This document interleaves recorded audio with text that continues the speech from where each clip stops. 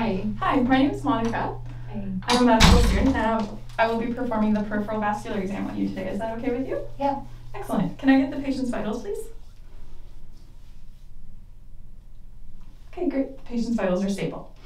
Uh, to start the exam, we'll start with inspection. So I'll get you to stand up for me, please. And for the beginning of the inspection, I'll be taking a look at the back of the patient's legs. Turn around. Just for the presence of any varicose veins, which are superficial dilated veins in the legs, which I don't note in this patient. You can have a seat again on the bed. At this point, I can get you to lie down and just put your legs up over here. Perfect. So to continue the inspection part of the exam, first I would be inspecting for color. So with peripheral venous disease, I would expect to see rubor versus with peripheral arterial disease, I would expect to see pallor. Next, I would be inspecting for hair. So the presence of hair would be consistent with venous disease versus the absence of hair would be consistent with arterial disease. Next, I would be assessing for ulcerations. Uh, with peripheral venous disease, I would expect to see ulcerations in the anterior tibia as well as in the medial side of the malleolus. Uh, versus with arterial disease, I would expect to see ulcerations in the bottom of the foot.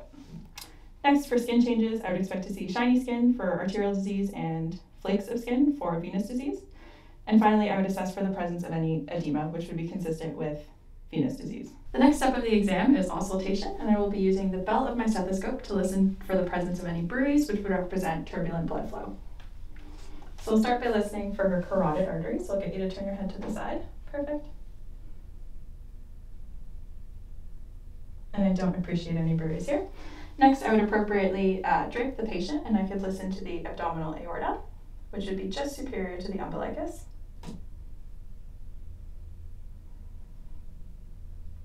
Next, I would listen for the renal artery, which is 5 centimeters superior and lateral to the umbilicus.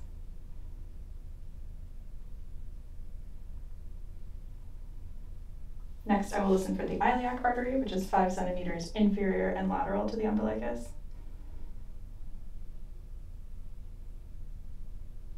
And finally, I could listen for the femoral artery, which is halfway between the ASIS and the symphysis pubis. And I would repeat that on the other side as well. The next part of the exam is palpation, and I will start with palpation of the legs. So first I'll assess the temperature of her legs using the back of my hands.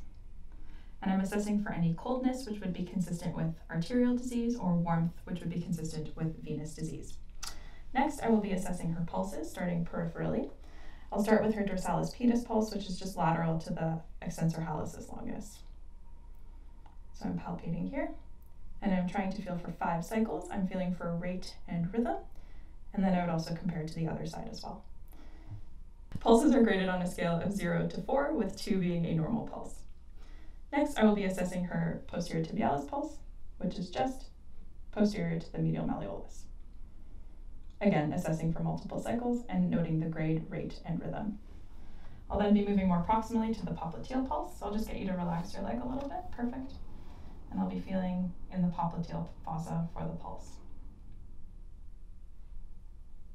Okay. Next, I will be assessing for edema. So if there were edema in this patient, I would be pressing down in the edema to note whether it is pitting edema, but I do not note that in this patient. And finally, I will be assessing calf circumference.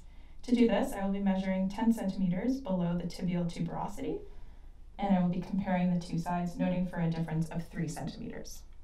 Next, we'll be doing palpation of the upper extremity, starting with pulses. Starting with the radial pulse, again, I'm feeling for rate, rhythm, and grade of the pulse. Again, this is a grade 2, which is normal. I'll then move to the brachial pulse, which is felt just in the medial aspect. And I will then be doing the carotid pulse. I'll get you to turn your head to the side. Again, feeling for rate, rhythm, and grade and I would be comparing the two sides.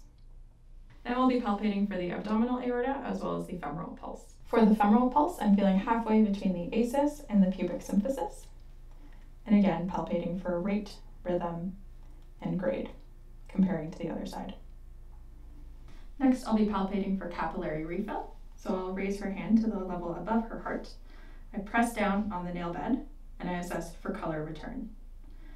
In female adults, the color should return in less than three seconds, and in males, less than two seconds. Thank you, Janvi, for your time. That concludes the peripheral vascular exam. For more exam videos, see the link below.